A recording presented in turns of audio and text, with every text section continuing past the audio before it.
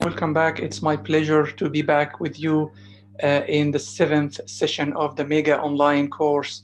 Uh, Eid Mubarak for everyone here. May Allah accept uh, all the fast, all your fasting and prayers in the holy month of Ramadan.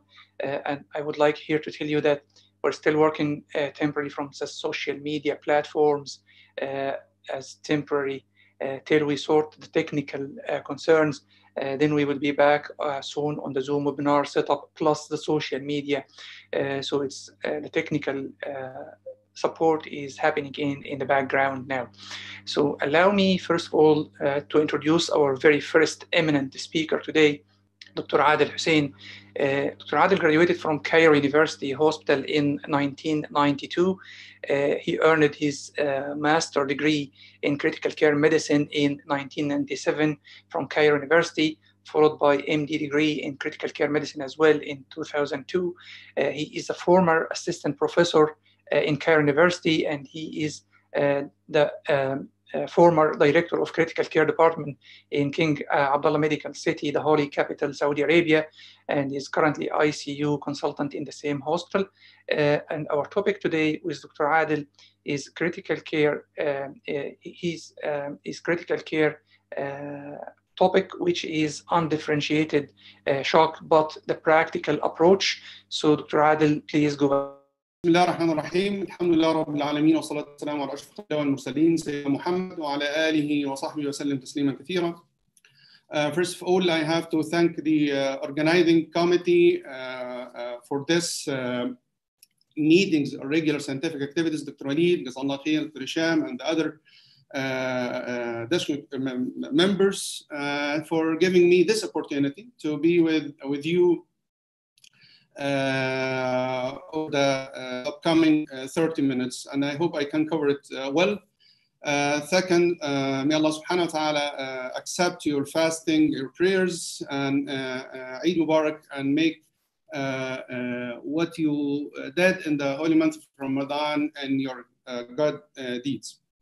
Uh, my title, as uh, Dr. Walid uh, said now, is it will be a practical approach for uh, undifferentiated uh, shock. Uh, I have nothing to disclose with my presentation. This is the outline of uh, my talk today. Uh, first, I will uh, highlight some pitfalls about shock in general. then I will go through evaluating the causes or cause of shock Third, uh, we will highlight the uh, stabilizing approach uh, bedside. And finally, we will uh, sum up or wrap up, wrap up with uh, take home messages. Shock is extraordinarily important. Why? Because it's generally a final common pathway before death. So all roads uh, went to Rome or led to Rome. So the shock, if left untreated, it will, of course, uh, lead to uh, mortality or death. Uh, so most of the serious diseases, uh, as we will see later, are capable of causing shock. Uh, as we mentioned, if, if left untreated, so shock will progress, of course, eventually to multi-organ mortality. However, shock after reversal. So usually we are working to uh, avoid uh, progressing to multi-organ failure and mortality. As we know, the shock is about perfusion, not numbers, BP, not the blood.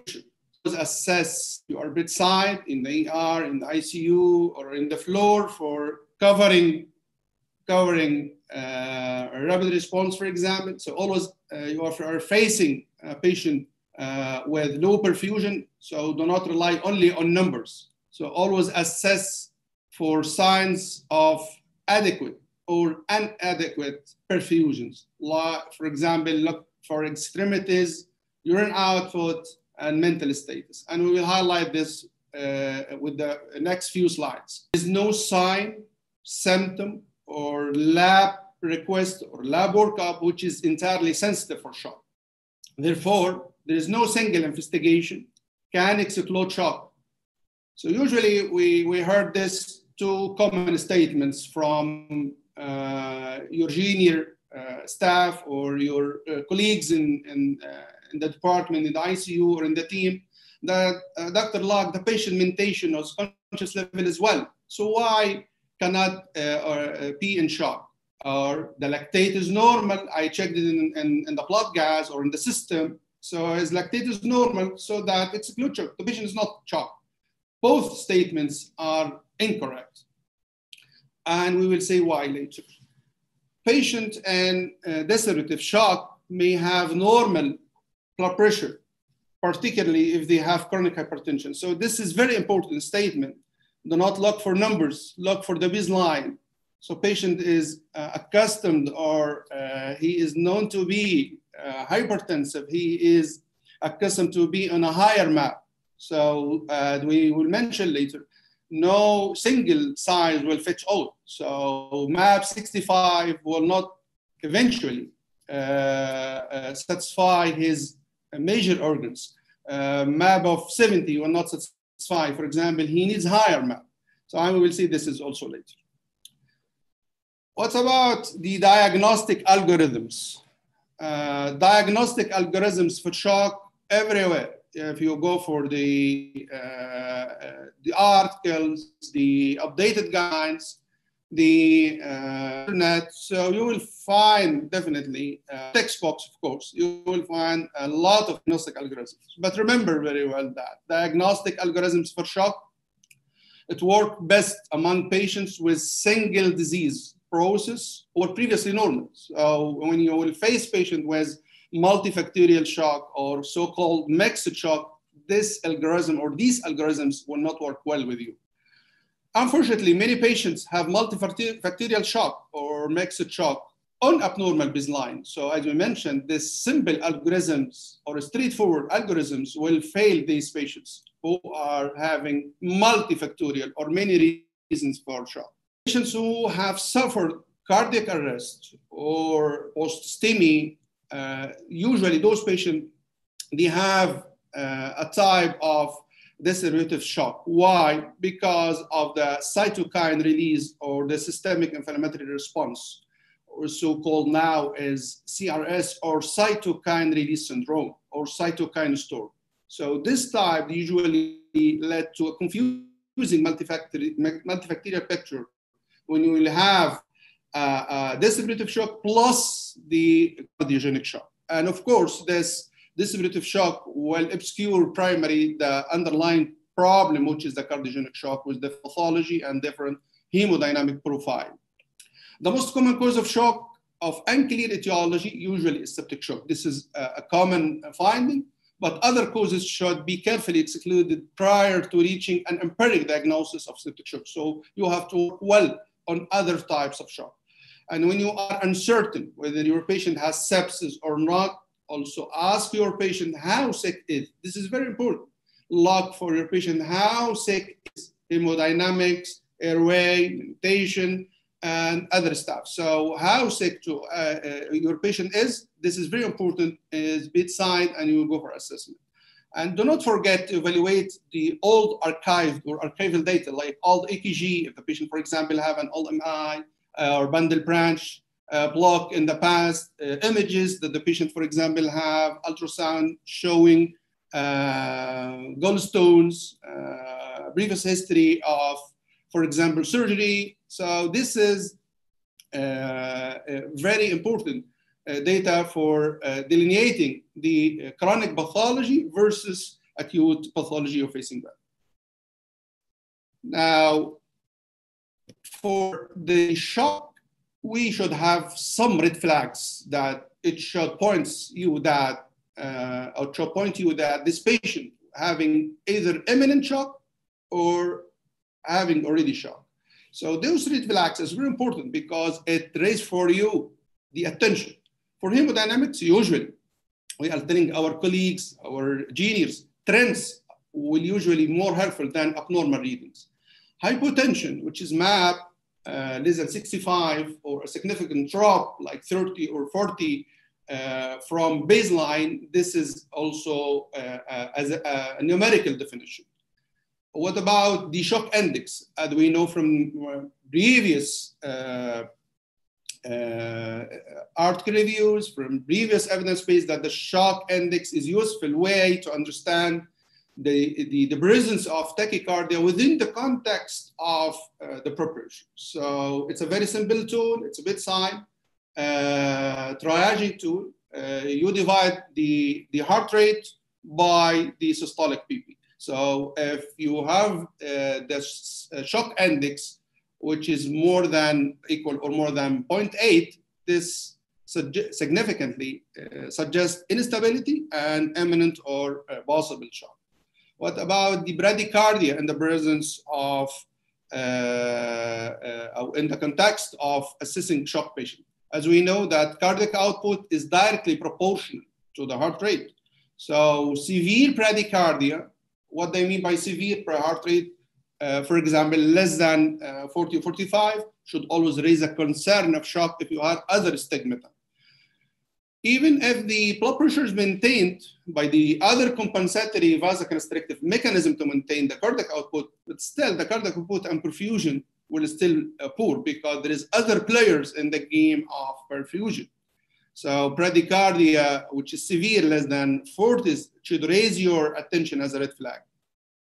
As I mentioned, this is a very important slide for you guys. If you would like to uh, go out with one important or some of the important slides from my presentation is to respect the shock index slide.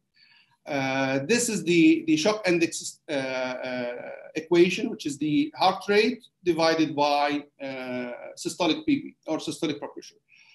Uh, the, the normal shock index it's less than 0.7.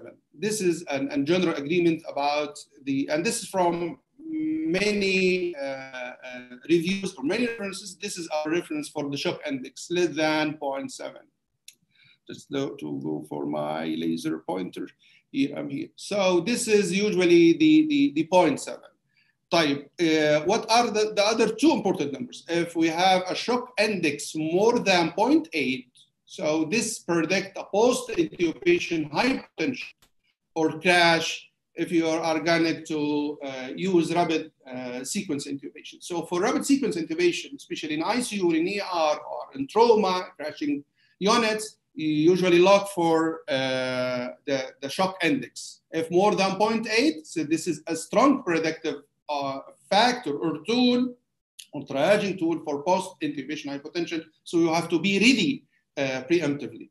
If the shock index, sorry, shock index is more than one, so this is a very strong predictor with or for hyperlactatemia and not only in hyperlactatemia, but also for 28 days mortality in ICU. So uh, in, in, in, shock index, usually we rely on as a secondary triage tool in mass casualty incidents. For example, uh, uh, now we are in the era of COVID-19, so it's a very helpful uh, uh, secondary triage tool to uh, before intubation or for shock in the ER or in the ICU before applying uh, a hemodynamic uh, monitoring. So it's, uh, it's a very useful rule or has a, a, very useful rule in crashing patients for predicting the post-intubation hypotension, suspected sepsis, and bleeding or trauma patients. Other red flags is a delirium. Uh, if you have a no onset delirium, uh, this is, can be a sign of shock. But remember, uh, it's neither sensitive nor specific. Uh, but uh, some of the authors, they reported that if you have a new onset delirium, uh, this is uh, more common with septic uh, shock patients. for urine output, this is very important regarding dropping of their output below 0.5 cc per kg per hour. So this is a renal perfusion sign and not only the drop or the decline in the urine output in the context or relating to the uh, body weight, but also is the color or uh, the dark urine. So scanty and dark urine. Uh, moving to the skin perfusion as a red flag, of course, cold extremities are early sign of vasoconstriction and reduced cardiac output. If all extremities are cool, this is more specific for hypoperfusion, of course. So what's about the skin mottling? So skin mottling is less sensitive, but they found it's more specific for hypoperfusion, not only hypoperfusion, but also for high mortality. And this is our the mottling staging score, and usually we use it uh, around the knee. So if uh, as you, you can see here in the, in the, in the pictures, this is the diagram. If you go localized uh, at the knee, then you go outward up to the side up. So this is the severity from score one or stage one up to stage five. What about the capillary refill time? Capillary refill time also uh, during shock resuscitation or before starting uh, for shock assessment, they were found that is associated with uh, poor prognosis. So usually what we use for uh, capillary refill time, we use the index finger and we use also the knee capillary refill time. So what they found from the literature, they found that the index capillary refill time uh, around 2.5 and 2.4 to 2.5 seconds, and the knee capillary refill time around five uh, seconds. Though if you found that uh, during your assessment or resuscitation, they found it as uh, or are strong predictive factors for the 14 days mortality. So capillary refill time is a strong predictor both at the index and the knee. So remember both. If you cannot measure it at the index, and you can measure it at the knee and vice versa uh, remember it to, for, to be easy for, for all of us, 2.5 and the index and 5 second and the knee. And this is strong predictor of 14 days mortality. So for shock index is 28 mortality predictor if more than one. Capillary refill time is a 14 days mortality uh, for uh, in shock patients. Now, if you will ask me about the hemodynamics tool that we will use to assess or to monitor or to guide you. Uh, honestly speaking, it's a puzzle till now, till uh, May 2020. It's a hemodynamic, the hemodynamic, it's usually a puzzle. What does it mean, puzzle?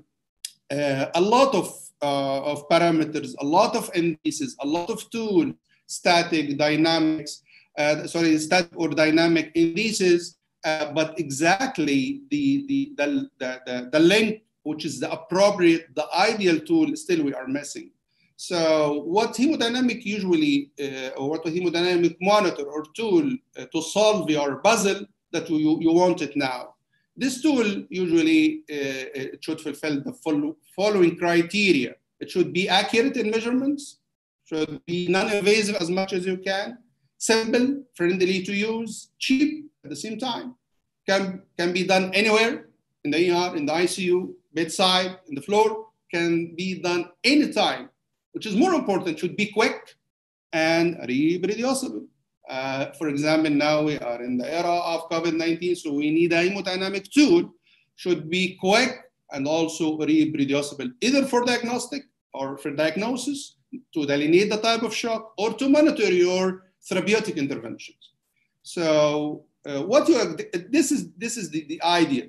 Now we, you have in the market, either in the, in the ICU in, in, your departments or your unit, you have many hemodynamic uh, uh, monitors available to use it bedside. So what do you expect usually when you want to choose or want to use? Usually we want to expect from hemodynamic monitoring system, whatever the name, whatever the brand, is to measure the following three precisely and accurately. First is the cardiac output. I need the monitor to measure the cardiac output accurately. So I need something like Google the standard. If you remember in the past, we were relying on the Swan-Ganz catheter.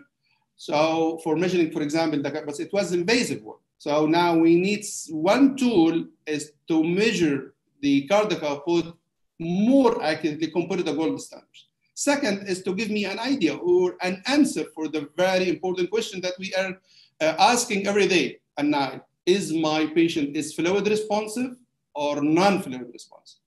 Number three is to tell me when to stop my resuscitation, we call it resuscitation endpoints.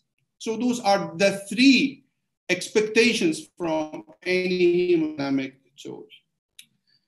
Moving now for evaluating the cause or causes of, of shock in crashing patients. This is the very or the most valuable uh, player in your game is to evaluate why your patient is shocked. Why is having a shock? Is it a single cause? Is it double? Is it multiple or multifactorial? Is it mixed shock? So uh, the, the, the, management is different. So for example, this is uh, this patient is having cardiogenic and septic at the same time. So for example, for, for, for the instant, your resuscitation uh, with fluid, it will uh, be different. So remember, uh, uh, this is very important. And when you, you are dealing with, with shock or dealing with crash, less is more because time is an important factor with you. So doing less, it you will get uh, more. Uh, I'm not just uh, telling you do not do anything, but just be concise in, in tailoring your differential, broad, then come narrower and do less is more. Do not order a bunch of uh, investigation or lab work or images, but at the end you are not uh, using those. So be precise and uh, be uh, wise with your uh, uh differential diagnosis. What about the role of, of lactate and central venous saturation in, in deaf and differentiated shock? As we mentioned before, apps can always suggest shock, but never explode. Remember this very well. Regarding the lactatemia or high serum lactate, of course, lactate more than four suggests shock. Again, it suggests shock. But this has a broad differential diagnosis, for example, liver disease,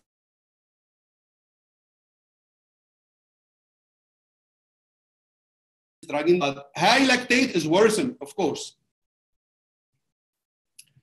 High lactate is worrisome, of course, and should be interpreted to represent shock or some other impending disaster until proven otherwise. So if you have hyperlactatemia uh, uh, trending up uh, in, in ER or in the ICU, it should worry you and it, you should treat it that there is an impending disaster until proven otherwise, as we mentioned. But again, on the other limb, normal lactate is not necessarily reassuring and it can occur also in the context of shock. Compared to uh, low central venous saturation or mixed venous saturation, if you, you are uh, having uh, Swan-Ganz, uh, so if you, if you know better than me that there's a difference between the central venous saturation, which is from uh, the central venous line from the right atrium, uh, compared to the mixed venous saturation, which is from the Swan-Ganz. So usually we, or, or, commonly, or sometimes we use it as a surrogate for the lactate or as a surrogate for endpoint resuscitation or as a surrogate for assessing the hypoperfusion.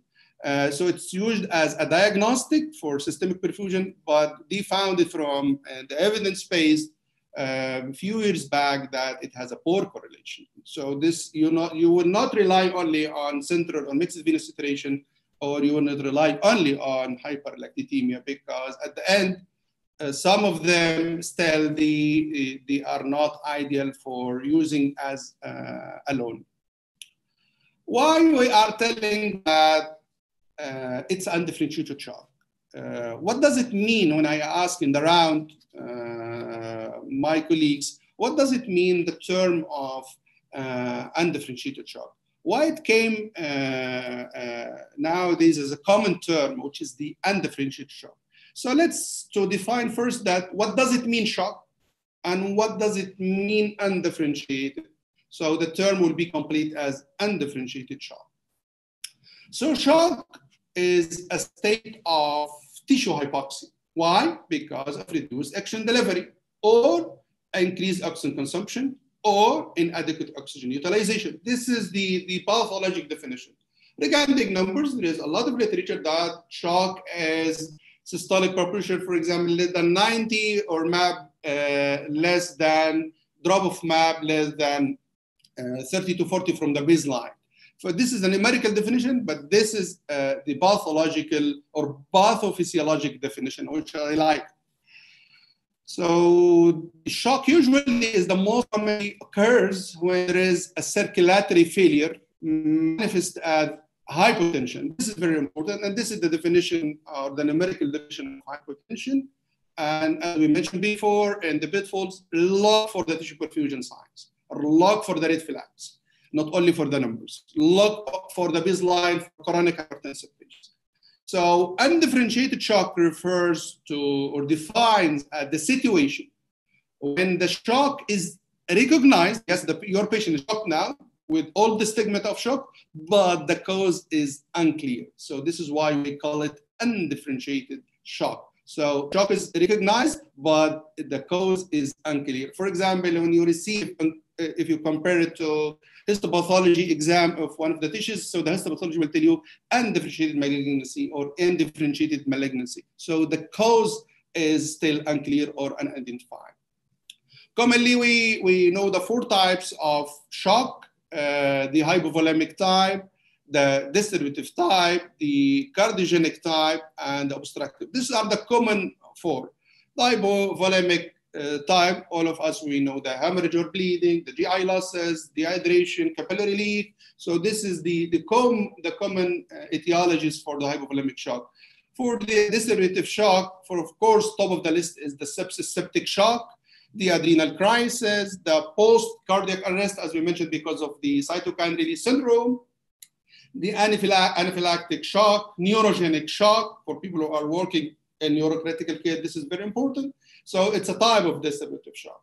Cardiogenic, of course, top of the list is the MI, either type 1 or type 2, STEMI, heart failure, myopericarditis, uh, and now we are in the era of uh, COVID-19, so there is uh, a subset of those patients present uh, to you with uh, cardiogenic shock second to myopericarditis or cytokine release syndrome, uh, and also uh, the Takotsubo or stress-induced cardiomyopathy. It's a reason for cardiogenic shock, and this is can also in the context of septic shock.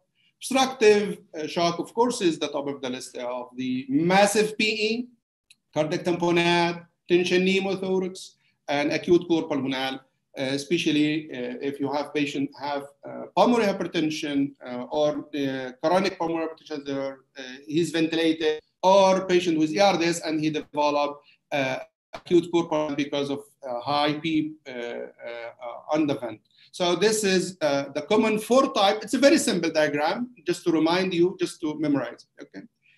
Now, uh, before leaving the causes of shock, just I will highlight that don't forget that still we have a mixed type of shock. You can have two or more of those type. You can have uh, uh, cardiogenic or, or, or, septic, both. You can have adrenal with uh, hypovolemic, bleeding with tamponade. So it's or obstructive. So you may have any type of the mixed, any two types of mixed shock.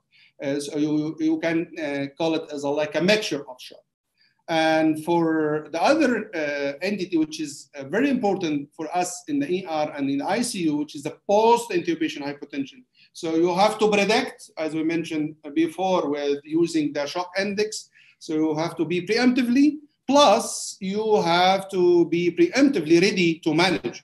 So uh, those are the predictors for the causes for post-intubation hypotension which is dehydration, PEEP effect if the patient is ventilated, and of course the sedative effect if are using benzo, uh, like propofol, uh, dexo, medetomidine, uh, and others. So usually this is a sedative effect, commonly post uh, intubation. How you predict, as we mentioned, we have a strong predictive tool, which is the shock index. Uh, with cardiogenic shock, as I mentioned, uh, earlier that post-cardiac arrest syndrome or massive bleeding also have a distributive shock. We had cardiogenic shock. At the end, uh, at other uh, arm, we have a, a, type of distributive shock. Why? Because of the uh, systemic inflammatory response, the cytokine release syndrome, or and the vasoplegia. So here, uh, does one shock type exist in isolation? Sometimes, but more commonly, you will find now um, a mixed type of shock. They found that about 50% of patients with septic shock, they will develop cardiac dysfunction during the course. uh, so-called uh, stress-induced cardiomyopathy, Takotsubo, septic induced. So it's not a small entity. About half of, of your patients, 50% of them, they will have mixed type of shock. Remember also very well, patients with hypotension and severe heart failure, in fact, they are initially uh, volume responsive. They are in heart failure, severe advanced heart failure, but they are volume responsive. Why? Because they are suffering from uh, overdiuresis, uh, uh, occult bleed, OGI losses, diarrhea, vomiting. So those patients, they are, yes, uh, uh, they are in, in, in, heart failure, but at the end, the volume uh, responsive.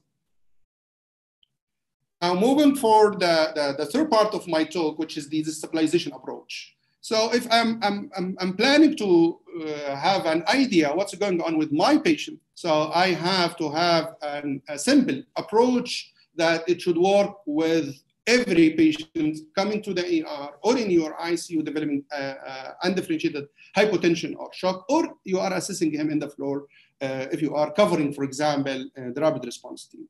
So starting very simple from uh, skin perfusion as a clinical assessment, look for uh, the monitor for the vitals, is there narrow pulse pressure?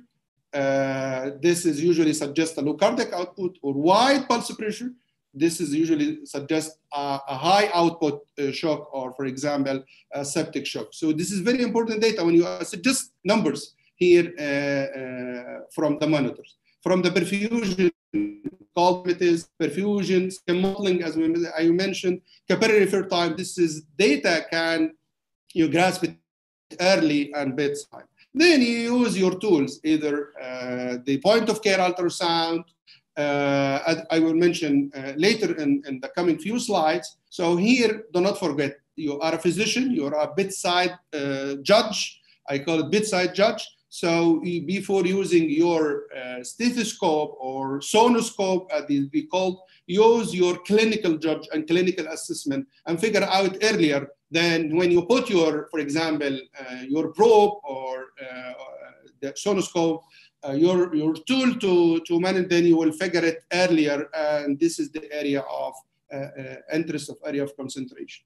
So this is a, a, a bedside shock evaluation how you will, will use it. So uh, if you, you, you will use the echo assessment, for sure you will come up with uh, assessment uh, tool that will help you with the cause of shock. For lung as well, you will come up with uh, a modality which is, uh, we are uh, in need for now every day and night, and it's uh, non-invasive and precisely can assess what's underlying and what's going on. For, for the abdomen itself, uh, for example, if I'm using the eFAST protocol, again, you can highlight if you are working in a trauma center. So this is will help uh, you for assessing the shock. So if you are facing now patient with shock, so collaboratively from the physical exam, uh, monitor, uh, assessment, and EKG, then moving for the diagnostic non-invasive tools, with the echo uh, uh, or point of care ultrasound, for sure you will come up with the cause or bedside underlying assessment why my patient is shocked. So now we are incorporating uh, all in one package the physical exams and certain investigations uh, like your monitor EKG and some bedside diagnostic tool, which is less invasive or non-invasive, like the point of care ultrasound.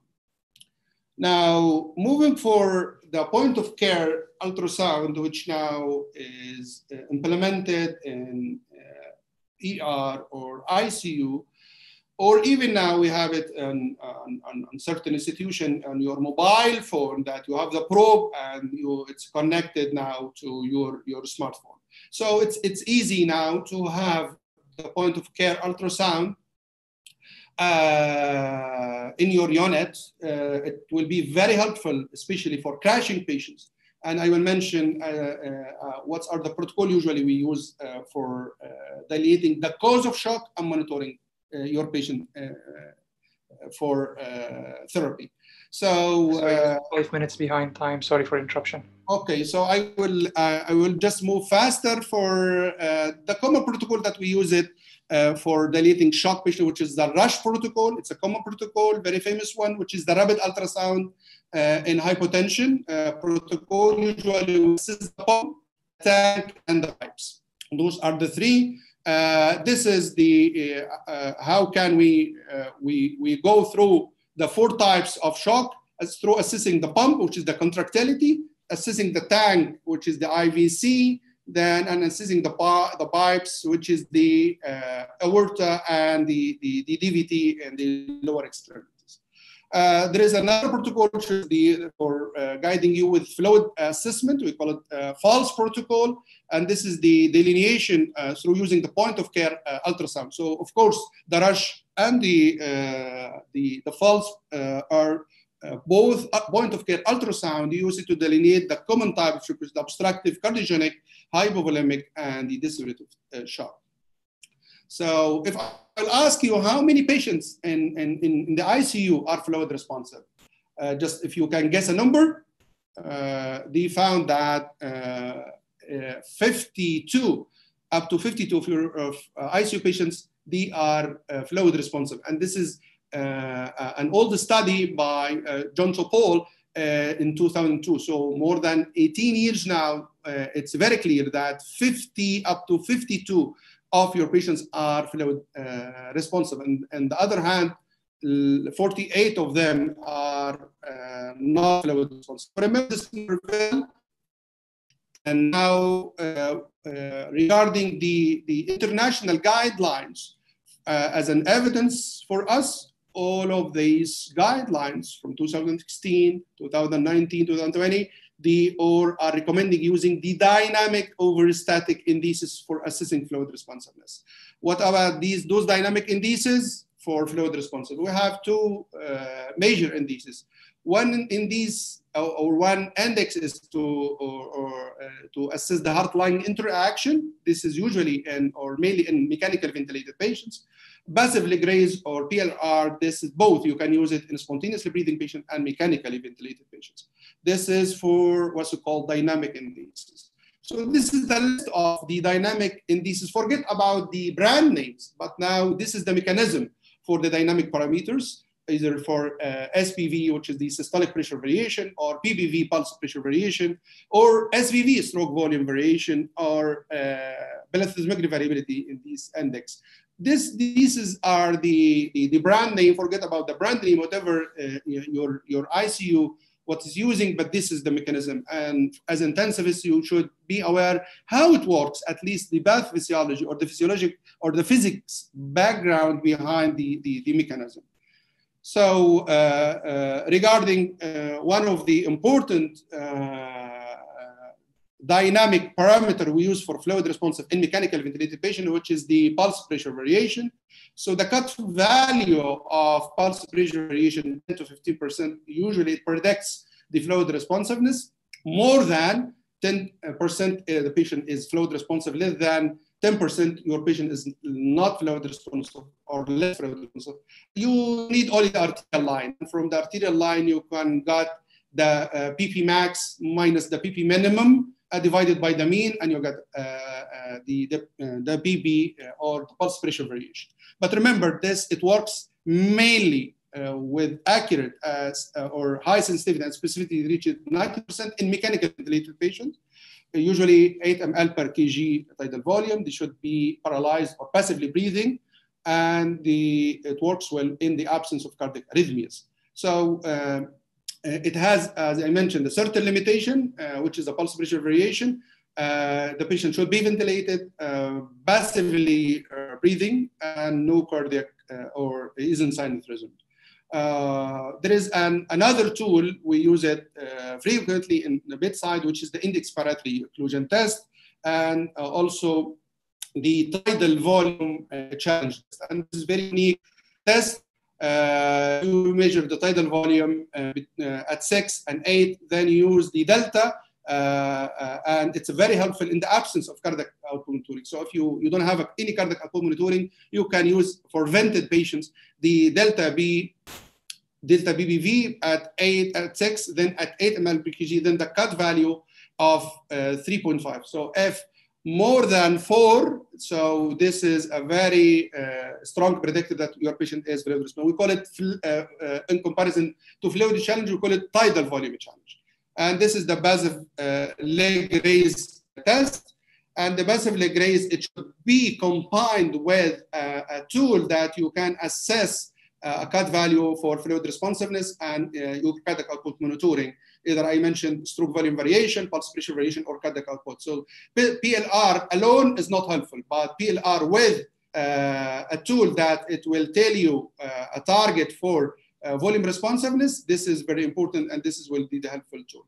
And um, uh, remember that assessing fluid responsiveness, it should tell you two about RV and The ideal one is, as I mentioned, PLR uh, with the flow challenge or the end expiratory or tidal volume because it's telling about both preload and afterload. Other parameters, other indices, uh, either telling you about the RV alone or LV alone. Uh, if your patient is fluid responsive or not, this is just a very simple diagram uh, which to use. Uh, if your patient uh, ventilated or spontaneous breathing, what tool should you use? and what, how can you uh, tailor uh, your fluid responsiveness tool and what's the targets. Uh, these are some hemodynamic management. Remember that less is more. Common shock pathologies uh, hate liberal fluid resuscitation. Be restrictive as much as you can with fluid, but at the same time be prudent. Use the balanced crystalloids over unbalanced. Don't follow the so-called lack bolus. What lact bolus? High lactate means high fluids. So uh, fluid bolus. No, just be uh, uh, wise with assessment why your patient is having lactate, hyperlactatemia. So not every patient have hyperlactemia needs fluids. So don't follow this uh, with each patient or with every patient. To just be wise. And remember that uh, same fluid blanket does not fit all. Uh, for morbidly obese patients, what we use ideal body weight uh, the uh, predicted, uh, predicted by the weight or the actual body weight. For example, now surviving sepsis campaign is telling you give 30 ml per kg. So this per kg is not suitable for all patients. What are they telling you? What about morbid obese? What about end-stage renal failure? What about patient with massive PE? You are giving 30 ml per kg? No, of course not. So remember that the fluid blanket does not fit all be always goal directed with fluid res uh, resuscitation. What, what does it mean fluid? Uh, what does it mean goal directed? Use uh, dynamic variables or dynamic indices in your hand, the most available in your hand, use it please. Do not look for the advanced uh, tools if you don't have, use the PLR, uh, the trends in, in the vitals, uh, vena dynamics, echo point of care ultrasound. Do fluid challenge to avoid fluids when no benefit, of course. The last word is not yet said. Dry vasoconstrictive uh, vasopressors. Many patients, they may develop AKI, multi-organ failure, and vasopressors, of course. In fact, they could benefit from broadened, remember the word broadened, broadened fluid uh, resuscitation. These are the, the guidelines as I opted for you for uh, the, the, the, recommendations about using the vasopressors but just more important, uh, the, the map target 60 to 65, as I mentioned, is not a blanket for all. One size does not fit all. Just remember people who likes uh, higher map, people with chronic hypertension, they like map 70s and 80s, what's their previous map. So for example, uh, recommendation, it comes from uh, surviving sepsis campaign, but again, you are bedside and you are the one who are assessing your patient. Those guidelines, is not a holy Bible. It guides you. Um, I just I will uh, end my talk with just uh, two important slides, which is the resuscitation endpoints. Usually, when to stop your resuscitation, it's uh, a dynamic process. You start it; it's an easy, but when to end, this is the the the, the, the pearl. So use the the all or uh, uh, the whole package use global assessment and under, uh, the organ assessment. Use dynamics and static if you have both. So and mentation, scan perfusion, pulse pressure, uh, sorry, heart rate, pressure trend, the shock index, the urine output. This is as, as a global. Specific wise, go for serum lactate and uh, pH, the base deficit, point of care ultrasound targets and goals, uh, uh PPV, uh, waveform, and if you have other dynamic indices. So this is are the endpoints that will tell you when exactly to stop. So do not, uh, please do not rely only in one uh, tool that, okay, his uh, urine output now is okay, uh, or his BP is okay, or heart rate is trending down. No, it's a global assessment. Uh, uh, now I will just wrap up with take home messages. So please, guys and colleagues, be aware about the common shock pitfalls I highlighted in the beginning of my presentation. Uh, diagnostic algorithms, as you mentioned, for shock work best among patients with single disease process who were previously normal. Uh, it doesn't work with, uh, Uh, well with mixed type of shock. Uh, uh widen in diagnosis, uh, like you are in your antibiotics coverage, the same. Widen your differential diagnosis when you're facing patient with shock and do not mix it don't, don't, don't, do not mess the mixed shock state, which is really not uncommon. High index of suspicion for uh, cytokine release syndrome, the myopericarditis, and post-intubation hypotension. Remember very well, not all ST-segment elevation is STEMI. Uh, think about myopericarditis. Uh, if the patient uh, is, is coming to you with uh, a picture that may obscure the, the, the STEMI goal of resuscitation is to maximize the survival, mm, to minimize morbidity. Why? Because this is your, your, your, uh, your, your goal. How you use it? Using the objective or dynamic hemodynamics uh, variables and the physiologic variables to guide your therapy. The first few hours of resuscitation are vital. Please be goal directed with fluid resuscitation. As I mentioned, PLR, the uh, vital trend or change in the vital trends, Point of care ultrasounds is very important. Till now, there is no therapeutic endpoint is universally effective and accepted. Package is not, is not single tool. So use package, as I mentioned, global and end. I remember at the end, less is more, and the same fluid blanket will not or does not fit all. At the end, the end, be wise, be prudent. Thank you. Thanks very much, Dr. Adel Hussein, for this uh, comprehensive uh, topic. I know how difficult to cover such huge topic in, in 30 minutes. Uh, shock is uh, one of the cornerstones in the management in ICU, the same as ARDS.